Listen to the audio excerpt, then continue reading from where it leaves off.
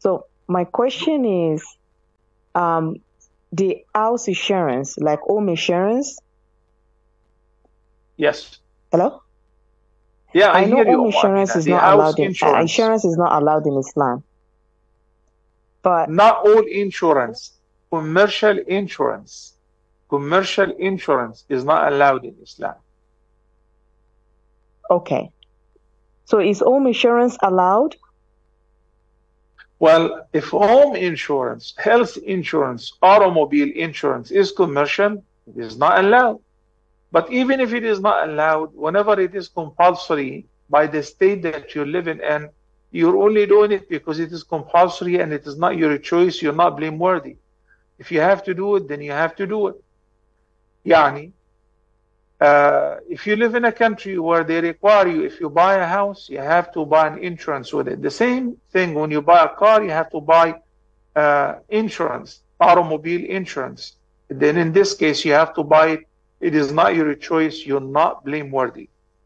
The difference between commercial insurance and the non-commercial insurance is very vast. Commercial insurance is haram because it violates number one, dealing with usury. Number two, the issue of gambling, which I've explained repeatedly before.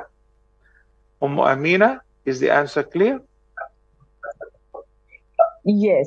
So if if they're not if you're not being forced to buy the insurance, um, so we shouldn't buy it, right?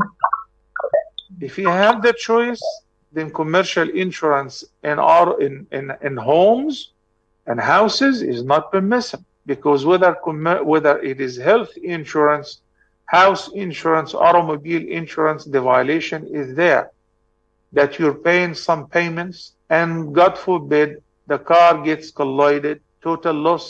So the insurance have to pay you for a brand new car even though all what you paid is only one payment. This is some sort of gambling. Okay, there is no guarantee who is winning and who is losing. Somebody has been paying for the house insurance for 20 years and gained nothing out of that. And then when he didn't make the payment, he lost the policy, house uh, caught fire.